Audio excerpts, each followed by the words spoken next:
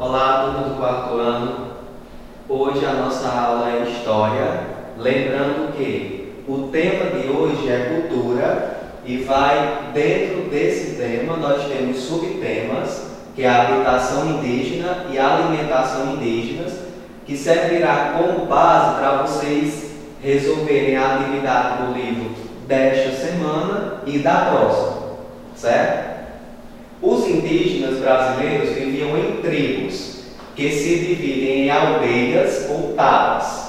Nas aldeias existem dois líderes. Existe o chefe da tribo e existe o pajé. O chefe da tribo ele é chamado de cacique. O pajé é o líder espiritual da tribo. No Brasil, a religião na, nas tribos está ligada ao xamanismo. Os xamãs, ou pajés, são indivíduos escolhidos pela comunidade para a função sacerdotal. A, a religião da das tribos muitas vezes está ligada à musicalidade. Essa é uma marca bastante presente nas tribos indígenas.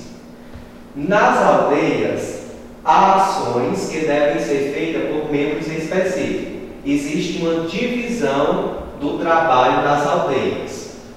Qual a função dos homens? Pescar, caçar, construir ocas, derrubar árvores, cuidar do fogo. E das mulheres? Plantar, preparar alimentos, confeccionar cestas, cestos e cuidar dos filhos. Nas aldeias, os espaços são muito amplos. Nelas, as principais habitações são as ocas, que é o local onde é de construção indígena. As ocas elas têm forma circular, forma elíptica, retangular e poligonal.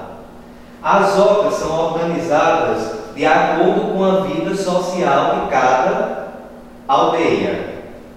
E como são construídos, quais, quais são os materiais usados para a construção das ocas?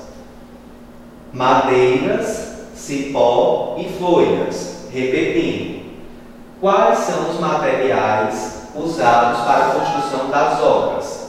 Madeiras, cipó e folhas nós vimos aqui um pouco sobre a habitação indígena. Agora nós vamos falar um pouco sobre a alimentação indígena.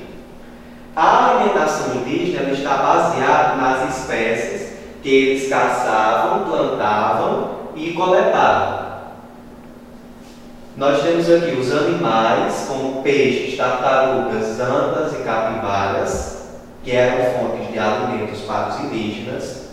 Nós temos os frutos, o mamão, o araçá e o caju, a semente mais comum é o milho. Estão presentes nas tribos e plantações de diversos vegetais como a mandioca, a, o milho e a batata doce. Uma das principais fontes de alimento que permanece até hoje na, para os indígenas é a mandioca, que é um tipo de alimento bastante utilizado por eles. Pronto, hoje a nossa aula de hoje. Nós estudamos habitação indígena e alimentação indígena. Agora é com vocês. Resolvam o, a atividade no livro e até a nossa próxima aula.